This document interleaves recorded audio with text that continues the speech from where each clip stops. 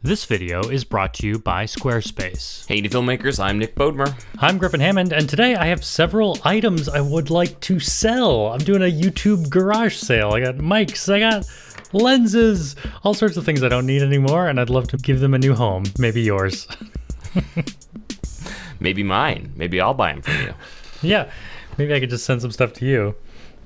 Beautiful. All right, well, what are we selling? I'm, I'm excited. I kind of I looked around to see if I could uh, throw anything into the garage sale, and uh, you know, I'm do- I've done pretty good at cleaning up the tech. So nothing from me. It's all you today, Griffin.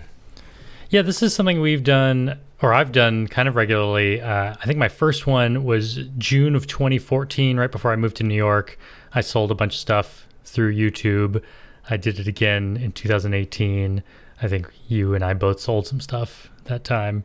And I'm not trying to exploit our audience. I just think that it's good for filmmakers to every once in a while assess the equipment they're using and, and offload the equipment they're not using. And it's silly for me to hold on to the stuff when I'm not using it. So I'd love to to give it a new home. And also, I don't want to pay nine percent to eBay or whatever the the fee is. We're gonna pass the savings on to you. Right, yeah. I like to think that my prices are, are fair and everything is going to include free shipping in the US.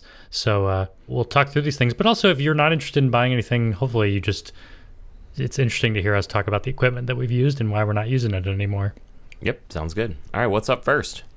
So I think I'm just going to go in like price order. We're going to go uh, from the cheapest to the most expensive. And all of this stuff, you can just go right to griffinhammond.com slash sale or just go to our show notes at hey.film if you're interested in anything. The way it works is you just answer a few questions, say the thing you're interested in, and then we'll get back to you and let you know if you're the. It's not like an auction, but uh, we'll just we'll prioritize the people who answer first. So let's see. I have a twenty dollar item here. This is a Tech, the gimbal company. You know Tech. They make several accessories for their gimbals, and this is a little monopod. It's actually a very slim or short monopod, and it comes with a little bag that actually has a little belt clip on it. And it has a little belt clip that can hook on the bottom of the gimbal, or not the gimbal, the monopod.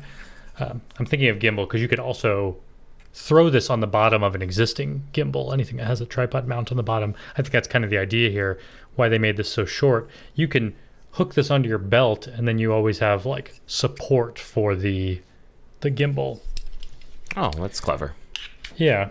And it gets it's not like the longest monopod in the world. I guess yeah, it's only like two and a half or three feet tall. I think the idea is that you would put a gimbal on top of it. Um, what are you using for a gimbal these days? Are you still using the Zhiyun-Tech? Yeah, I'm using their uh, their Weebill Lab. Got it. Which is a weird name, um, but yeah, I've had, had that for a few years, and I'm just not someone who uses monopods, and I don't use a monopod on my gimbal, so this has just never been used and just kind of going to waste here. So, twenty $20. bucks if you need like need like a half size monopod. Okay. With a cute little bag. Griffin, tell us what we have next. A microphone. In fact, I think I have it hooked up right now. Let's see. Testing. Oh, here it is. Yeah. Uh, it's a stick microphone. It's this uh, Sennheiser E816S. I'm selling this for $45. This is a microphone. It's just a stick mic that I've had for like, I don't know. Maybe I've had this for 15 years. Can you tell how old this model is? I'm looking right now. It looks like kind of Sennheiser's version of the SM58 or something like that. Kind of their super cardioid handheld vocal mic. Uh, yeah, it's got. I've, it's got seen nice... that thing around you for a long time. So yeah, I, have definitely seen it before, and it looks like forty five dollars. Pretty good deal because they're going for more than that on eBay. Yeah, I mean, it seems like a substantial mic. I think it's good. I'm, I mean, you're hearing it right now. This is the mic that I'm, I'm you're hearing right now in the audio feed. Uh, I've just I've kept this for a long time because I keep thinking I need a wired stick mic, and I just never use never it. Never use I have, it. I have a couple wireless Sennheiser mics, and generally I'm using shotgun mics, or, or, you know I'm just I'm not a stick mic guy. I don't usually like to see it in the shot, so it is right. complete waste for me to hold on to this thing. Anyone out there need a forty five dollar stick mic? Here you go. Boom. Made in Germany. Okay, we'll go back to my blue baby bottle microphone now. Which is Uh, not for sale. That's critical no, podcast no. infrastructure. We need it. That's right. My next item is actually my Apple Watch. I just upgraded to an Apple Watch. What is this one called that I have? The SE, Apple Watch SE. Yes, indeed. which is really the Series 5 that they renamed. Um, I have a Series 3 here that I am no longer using. It's the 38 millimeter, so it's a smaller size. It's a cellular plus GPS model, so it has the little red um, crown button. It certainly doesn't have the same amount of battery life that it did when I first got it, but it still lasts at least a day. I charge it. I was charging it every day. Um, I just it's a slower processor than the current versions, and it was not doing some of the running things that I wanted to do exactly the way I wanted to do it. So I'm offloading this Apple Watch Series 3 for $90 if anyone is interested. I'd like to be able to sell my old Apple Watches, but unfortunately, they have tendency to get shattered, like this one here. This is an Apple Watch Series 4, I believe, with a shattered screen. Hmm. Uh, and the cost to repair the shattered screen is more than buying a replacement. So it Yeah. sits forlorn on my desk. Very sad. It does have, you know, little cosmetic scratches on the sides. This is the aluminum space gray model. Um, I actually never even noticed the scratches on the side because you never really look at them. It does have a little tiny scratch on the glass way on the left side. Like it's not in the way of anything. I do notice it a little bit when it's turned off. When the screen's on, I don't even really see the, the scratch. Um, but yeah, if you're interested, let me know. I love my Apple Watch. If you don't have one, they're very nice. Yeah, and I think I bought it for like two fifty or something in like a Black Friday deal a few years ago. Yeah. The fourth item I'm selling today. This is actually what I think one of the most interesting items I'm selling. It's a lens for my well, it's a micro four thirds lens. It's that 14 millimeter pancake lens Oh, very small, right? that little tiny lens. Uh, it's a it's a 14 millimeter f 2.5. It's a lens that I've kept I've been I've been holding onto for years. I, I mean, it's probably one of my oldest lenses. I've probably had it for I don't know 15 years or something. When did we first get our like GH Oh, one? geez, that would have been like 2013 or something, maybe 2014. it was but no, it was before that. I, I feel like it was like 2010 we were buying. yeah, maybe. Jeez. Uh, so We're maybe this is 11 years old. Maybe it's not 15. That's that's an overstatement. Um, I'm sure I used this at some weddings. You always had the 20 millimeter, which you really liked. Yep. It's like another thin pancake lens. This is a lens that I used to use a lot. I really don't use anymore, uh, and I keep holding onto it because I keep thinking, well, it's my smallest lens. It's only 1.8 ounces, and if I ever need just like a tiny lens for, maybe I want to mount my camera on a bike or something, or like, I keep thinking I'll give Peter one of these cameras and I'll just give him the tiniest lens, but I just don't ever use it. Uh, I keep thinking I'm going to need a tiny lens, and I just really don't. So it's sitting here doing nothing. $110. Yeah, $110 has the rear cap, lens cap. I have a little lens bag. I keep all my little Lumix lens bags, so I'll send that send it to you in that. Oh, I, I I should also mention one thing I like about this lens, and maybe this is just a characteristic of all tiny pancake type lenses, is it seems like it can focus really close. Yeah. Mm, okay. I don't know. I just assume it has something to do with the optics of like this because it's so small, it can focus really close. I would say Like, I physics are involved, if that's what you're saying. Yeah. Yeah. Like I think right now I'm probably so. seven inches away from my face, and I can get pretty nice focus. Nice. So I I always found I could use this lens for close up shots on on things to get some detail. All right, you ready for item number five? I'm not, but let's do it. We're going up in price um, slowly. This is a a uh, $150 mic that I'm selling. It's a Deity V Mic D3 Pro. It comes with s- little case. And the interesting thing about this mic is that it's a little shotgun mic, has a has a little deity uh, windscreen on it, and it's it's kind of a combo mic that's designed for use on top of your camera or with an XLR uh, recorder. Because it has it has a an eighth inch output like a headphone jack so you can plug it directly into your camera. But it also comes with this little adapter that I've never seen one like this. It's just a little XLR adapter with a with a eighth inch on the other side pretty compact Interesting. yeah, so here, let me plug it right in to my recorder. Let's see if this works. Oh, and it's a powered mic, it, but instead of having like a double A or something, you hold down this button to turn it on. There's a little green LED light that turns on. Um, it's actually has an internal battery, and you charge it through USB-C, so it has a little USB-C port on the side. And then this mic also has a little gain dial on the back. So let's see right now if you can hear me. Oh, I'm too hot. Let's turn it down. Testing, testing, testing. Okay, so now you're hearing me on the Deity V Mic D3, D3 Pro. Pro. And I will say, I think I, I tested this mic out and thought, yeah, I it wasn't I wasn't super impressed by the quality. I guess you can hear it right now and, and tell me what you think. Um, but that's why I've just never chosen it uh, compared to some of my other mics. Like You know, Griffin, as a salesperson in my day job, telling people why something isn't very good is not the best way to sell something. Just No, just putting it out I I Just putting it out disagree. there. I disagree. Uh, you, you're still hearing the the Deity V Mic Pro right now. I think that by being honest, uh, you ha- you have a lot more credibility. And Interesting. Be honest in sales. Okay, I might give that a try. We'll see. we'll see. Actually, I mean, it's something I like when I do like trade show events for Panasonic, and I think Panasonic appreciates this too. That I'll get up on stage and say, "These are the things I love about this camera," and there's this other thing that I don't that bothers me, and I think it just tells the audience like, "Oh, this person's not." being a salesperson. They're they're actually just having telling me their honest experience with this equipment. Um, I mean, you may Okay. You may love the sound of this mic, and you may think I need a mic that can do both things, and I need a mic with internal battery, so I don't have to run phantom power. These are all just things I don't need because I'm always going into my audio recorder, and always have phantom power pretty much. So And you're you're spending a lot more than $150 on the mics you use daily.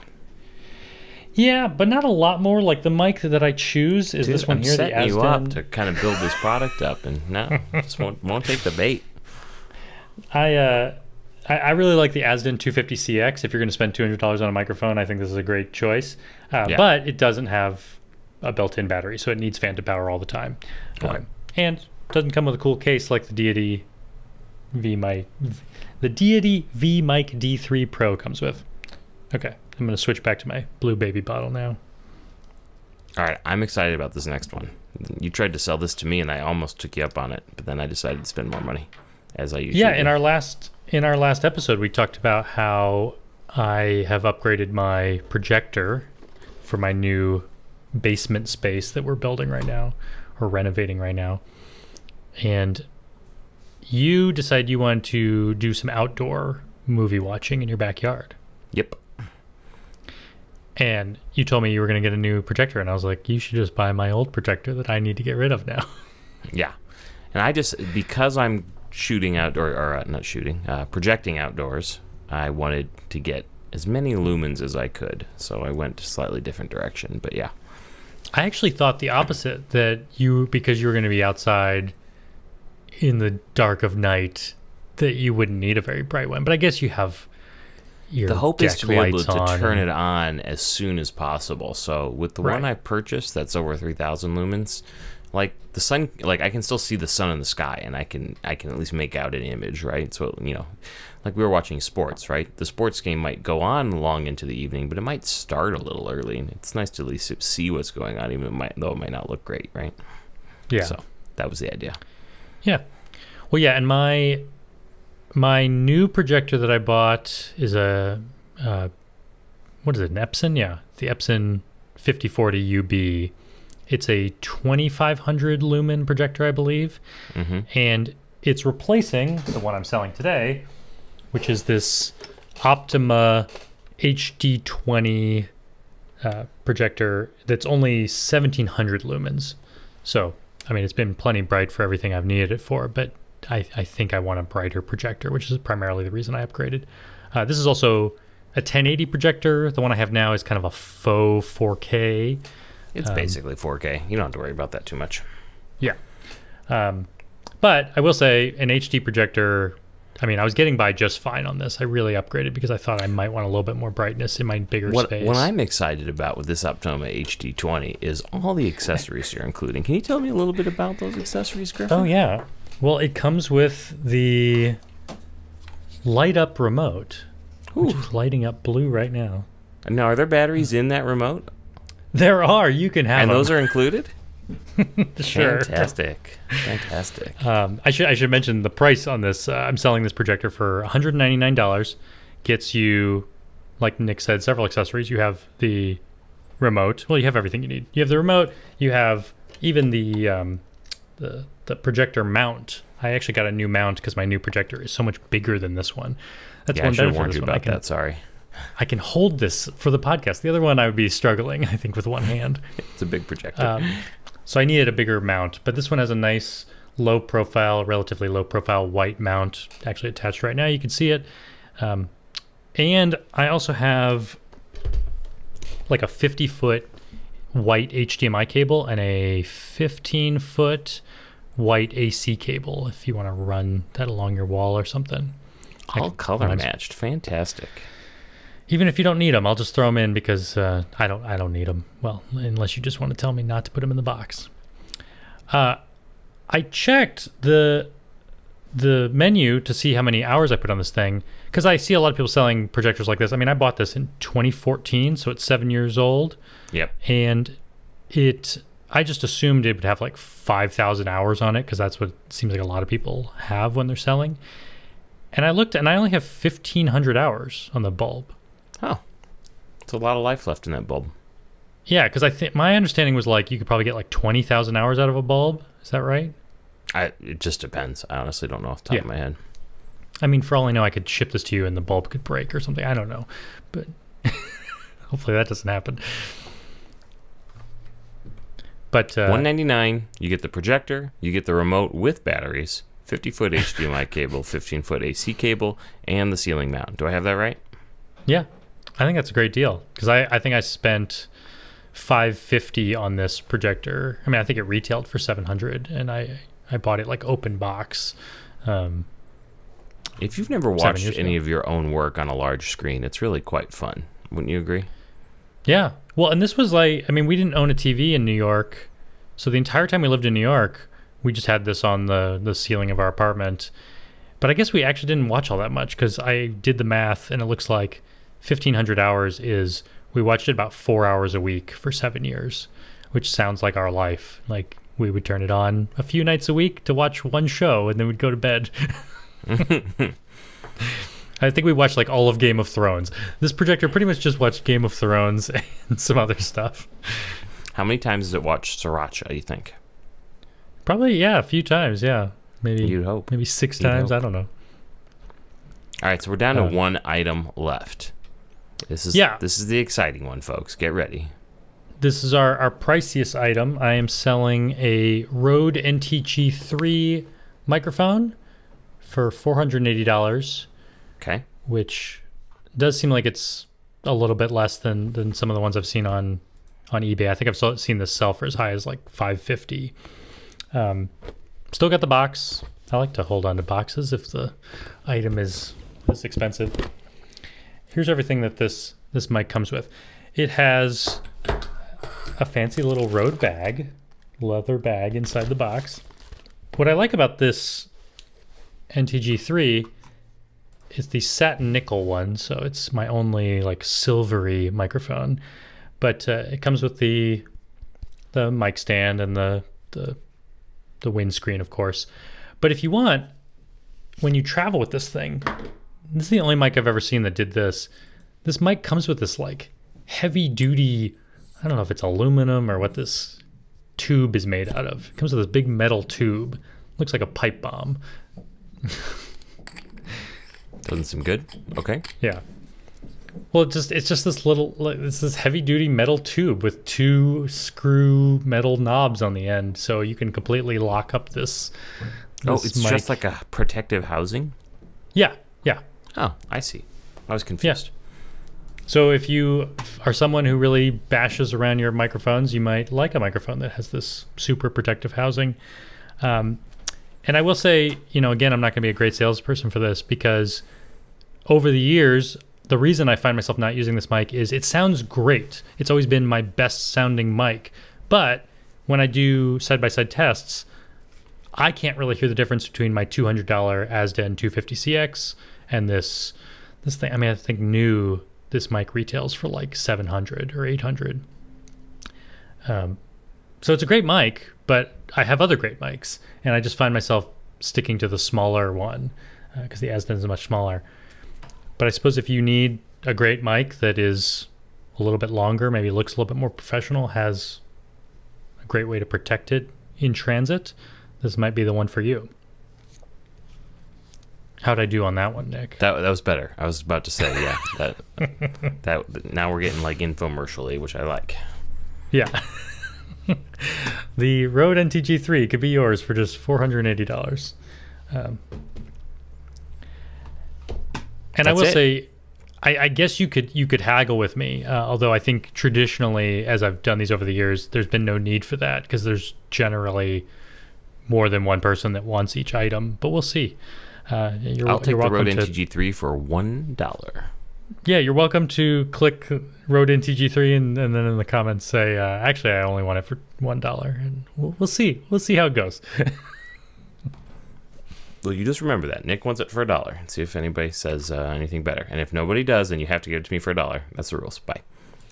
But yeah, I figure any of the stuff that doesn't sell directly to the audience, I'll just take it to eBay. Um, but uh, I've always had better luck. It's just quicker doing it on YouTube. That's primarily why I've done it over the years because I think my technique for YouTube has always been go on on a Thursday night, set it up as a 10 day auction. So it has a long time to be online. It ends on a Sunday, which is like a, a day when people are online and not at work and they can bid at the end and that's that's always been a way for me to maximize my return on things on eBay. But I don't want to wait 10 days if I don't have to, and I don't want to pay the fees to eBay if there's people right here who want this stuff. It's a beautiful thing. It's a beautiful thing. Thank you Reduce, for, for reuse, helping me recycle. That's what I clear say. out my home, and also you're pretty much helping me pay for my new projector. That's my if I can sell all the stuff, then then most of it, I'll I'll have almost paid off the. I think I paid. Actually, I think I paid sixteen hundred for the projector. So Well, let's find a couple more things, stuff, and we I'll make- can buy you an actual sound system too. Right, yeah. Yeah, maybe you're buying me my new sound system. well, should we take a quick break and then answer some questions? Let's do it. All right, so after the break, we'll answer your questions about ripping DVDs and how to make sure clients pay you. Important things.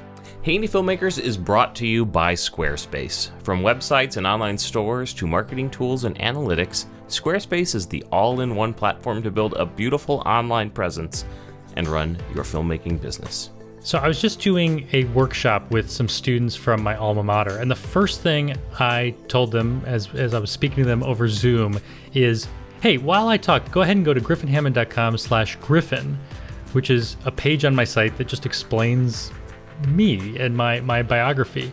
And it was useful because I, I figured they may want to read along as I go, or it might help them ask questions. Uh, if, if I forgot something, it was right there. But I find that I keep using this tool on my website. Just this about me page is so important. It, it's very high on my SEO. People are always asking for my bio for like a film festival or something, and I'll just point them right to griffinhammond.com slash griffin. Probably the most important thing about your website is just that it explains your story. And if that's the only page you had on your site, it's it's a valuable one. Check out squarespace.com for a free trial, and when you're ready to launch, go to squarespace.com/griffin to save 10% off your first purchase of a website or domain. I feel like one more time I should mention the website where people can go if they wanted to buy any of that stuff. You can you can see it all at griffinhammond.com slash sale or in our show notes at hey.film. Perfect. So we got this email from Tom, and he says, I'm in the process of archiving 30 years of theater production on video. It's a mix of VHS, then hi 8 tapes, DVDs, and SD cards. I figured out how to capture the VHS and hi 8 through a USB capture device in conjunction with OBS software. The trouble I have now is DVDs, which I can play on my PC, but how do I get these into editing software and then to YouTube? What do you think, Griffin? Well, this is so so funny because like I'm amazed that he even has a PC that has a DVD drive. Well, like that makes it a lot easier if you do, though. Yeah, I mean that's the problem I've had for years. Is if someone gives me a DVD, there's there's I, I can't do anything with it. I don't have a DVD player. I've even looked at the PS4, which I still have, and I don't think it can read like even a music CD, or like So it's so cheap you- now. I, can have play, an like, a data external DVD burner drive in Right. a box somewhere. So you know, the one time a year I need it, I can I can fish it out. So I mean, they don't Yeah. cost much anymore. So it's not that hard to, to go get a, a DVD. I actually play. did that last time I got a CD. I think I got a data CD from someone, and it it I just I bought like a thirty dollar USB drive. Yeah. um, to read it, but yeah, it felt like such a waste because otherwise I don't really need that stuff. So You know, what's funny is- about Tom's uh, question here is he the harder ones are the VHS and hi eight, and he's already got that uh, right, he's taken blown past of. that part. Yeah, got- and the got that. DVD stuff is going to be pretty easy, I think. Um, what do you think? Well, knowing that it's been so long since I've done this, I, I know that I can still make DVDs in Final Cut 10. I actually Yep. don't even know if Final Cut can read them, but I assume he was talking about like going into the files and trying to find the files and read them in his in his editing software. But surely you could still use like just ripping software. That's what we would always use for DVDs. Does that stuff still yeah, exist? that exactly. That's what I recommend. So on the Mac, there is an app called MakeMKV. It's a paid app, though I think it has free trials, and it is great for ripping DVDs and Blu-rays. Uh, so check that one out. Very user friendly. Or if you're just doing DVDs and not worry about Blu-rays, Handbrake will still rip right off of a DVD and uh, and spit it out. Yeah, Um, Handbrake is the one I always used. Yeah, and that's years, totally yeah. free. Now, if you're Is that on PC as well? a- Say again. Is that also on PC? It is. Yep. Oh, cool. So yeah, there's tons of software to, to, to do this. So uh, definitely check out Handbrake. It's free, um, and especially since these will not be copy protected DVDs, I'm assuming since they're you know uh, local productions, uh, it'll be super simple. If if they were you know if you're ripping DVDs for your own personal DVD collection or something, you need. Uh, uh, some, some of the components to uh, decode that aren't built in, but you can get them. Um, and then an, another tool I'll just point out is once you have these video files, um, you know, if you're trying to archive them in a reasonable quality but still get them nice and small, there's a great transcoding tool called Other Video Transcoding. It's totally free. We'll put a link in the show notes. Don Melton, um, who's a former Apple engineer, I think, uh, keeps these up, and so I use those a lot when I rip something to uh, to shrink the file size down. Like even if you do like if you rip a Blu-ray that can be 20 or 30 gigs, um, this will will get it down to a much more reasonable file size while still maintaining really high quality. So Nice. something I use a lot. Cool. Well, we got an email from Austin who wants to know how we deal with clients not paying you. Presumably, he's having this problem right now. So he's wondering how can you avoid this in the first place, and what do you do if you get yourself into a situation where a client is withholding money from you? Well, I've been there. I'm guessing you have too. Um, I yeah, actually don't was know if I've ever had this problem. I know that you have. I've had I've had it many times. When I was doing wedding videos, it was uh, um, it, it happened more than once. I'll say. What I eventually did was I moved to a contract that defined I needed at least half the money up front um, before I would you know go shoot the day. That way, uh, you know. If they stiffed me after that, I at least had gotten something to cover some of my costs. Um, and Yeah. then I don't, I wouldn't deliver final uh, video files or DVDs until uh, full payment had been received. And we've talked Right. about it on other episodes where I'd had people who would go, you know, they paid me my first half and then they went dark on me. And like years later came back and said, Oh, I'm so sorry. And I just said, Hey, I've still got it. If you pay me what you owe, then you can have it. And, and they've done that. So, Yeah. uh, you want a contract. You want a contract to specify when things are due. You want to maintain copyright until uh, you know full payment's been rendered, and uh, yeah, Well, yeah, and I think that's pretty common among wedding. I mean, it's been a while since I've done wedding videos, but it seems like it's pretty common to ask for half up front, at the very least, a deposit to hold the date. Yep. Um, And I'm sure some wedding videographers probably ask for full payment, like on the day of or before the wedding even begins. Uh, but I think you and I have always done like just take the second half upon delivery. yeah. I, I think if I were to get back into freelancing, I would probably be moving towards a you got to pay me before I even start type of thing. You know, once Yeah. you have a reputation where people know you're not fly by night, um, I think I think that's more reasonable. And I, of course, will always point out the great talk done by Mike Monteiro called "Fu Pay Me," which we can put in the show notes as well, because it's a great, uh, great little talk about, um, you know, people in the digital arts and how to get paid by your clients and how much a problem it can be sometimes. Yeah.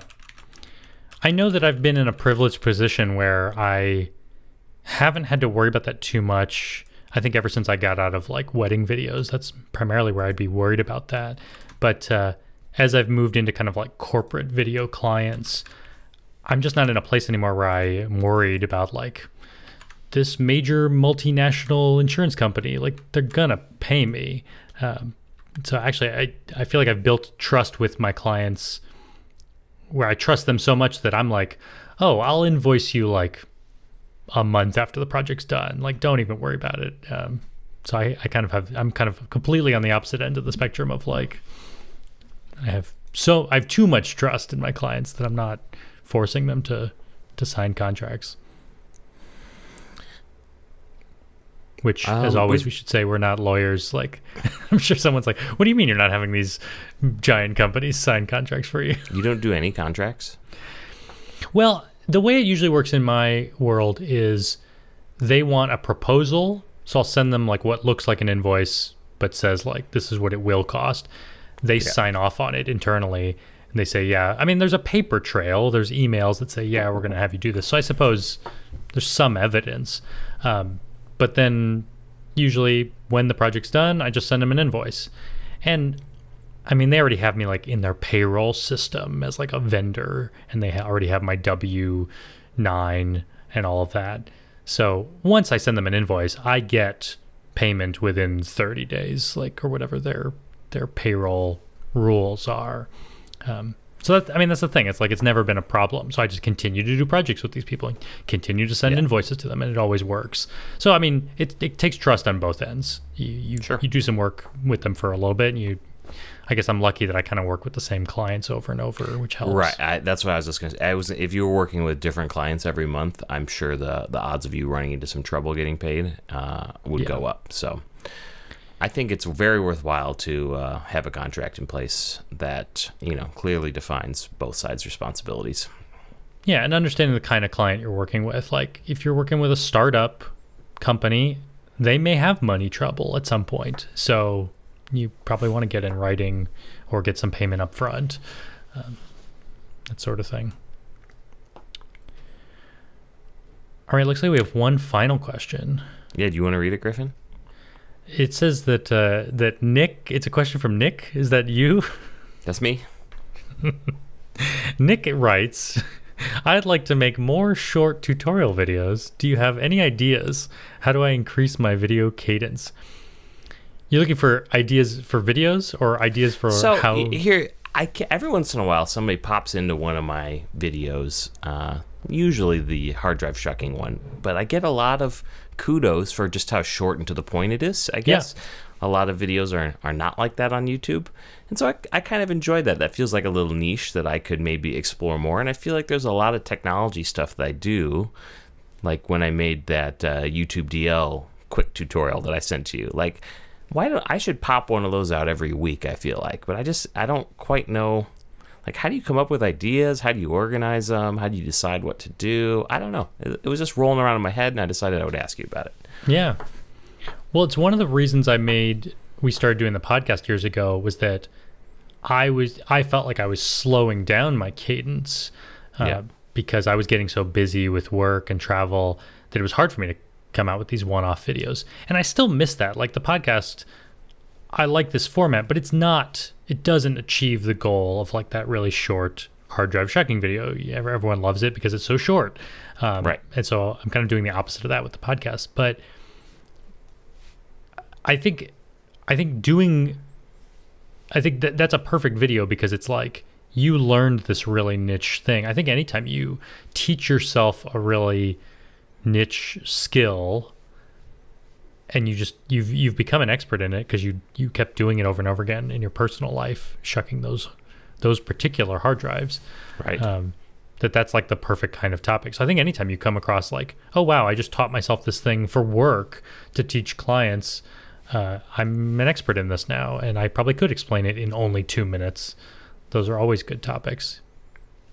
All right. Well, I just got to keep my eyes open. I think my my guess is I could find opportunities to create quite a few more videos than I than I currently do, and I'd like to make more. I feel like I come across those kinds of topics all the time, and then I just don't have time to make the videos. Like right. I th- I think I was like setting up my new Apple Watch and I was thinking like I'm a runner using this watch in a very specific way for my runs and I the way I'm setting up the metrics for the running like these I, I'm- was learning some important things about how to use this watch and I just thought yeah I, I, I could make a really short like here's the best setup for your watch for a runner uh, someone I'm sure it would do well Yeah. Okay. Well, uh, I would love comments if anybody has any ideas for for things we've talked what do they about. want to maybe hear that would yeah, make more from yeah. What, what would be what would be a good? I mean, obviously, I'm focused on technology and the intersection of technology and, and videography. Um, so l- let's think. If you guys have any great ideas, let me know, and I will steal them. Thank you. Thank you. so the um, the moral of this episode is I want you to send me your money to buy my stuff, and we want and I want you to send me your ideas so I can steal them. send all your intellectual property to Nick and all your monetary property to me. That's what having a podcast is for, right? Harvesting. Well, I think we should wrap it up with that. What do you say? Yeah, that's all we need to do today. Now that we've done our harvest. Indeed. It was a pleasure talking to you. We'll talk to y'all later. Bye bye. Yeah. Bye. For some reason, I was really paranoid this episode that I was not recording. I was like always checking. Uh, oh no, we're 20 minutes in. I probably didn't push record.